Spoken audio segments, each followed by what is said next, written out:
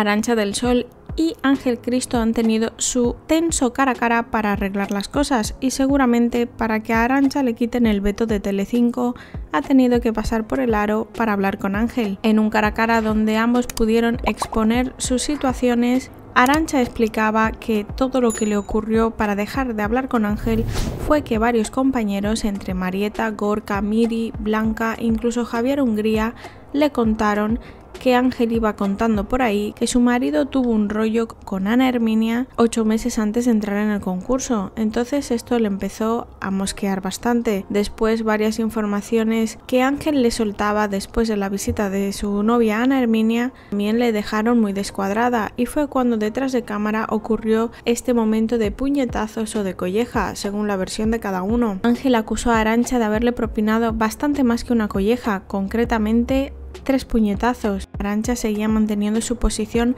arrepintiéndose de haber hecho lo que hizo porque no es una persona agresiva, pero seguía sin confiar en las verdaderas intenciones de Ángel y su mujer, a los que acusa de querer una trama para hacer platos en España después del programa. Ángel seguía reconociendo que de su boca nunca salieron esas palabras que, dice Arancha y que todos son habladurías que le contaron a ella, por lo tanto él no es el culpable de que le hayan dicho cosas inventadas y apunta aquí que Calleja porque quería tener una historia.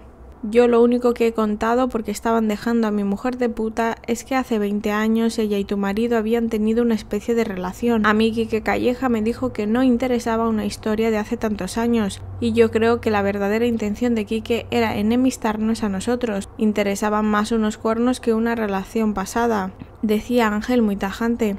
Este encuentro terminó con Arancha pidiéndole perdón por las cosas que ha dicho desafortunadas y Ángel igual, con un abrazo reconciliador más bien impostado por la cadena para dejar atrás sus diferencias y pasar página. Y también para que Arancha vuelva a televisión porque seguramente si no hacía este programa no iba a pisar de nuevo Mediaset.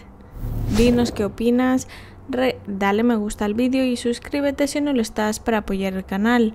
Nos vemos en el próximo...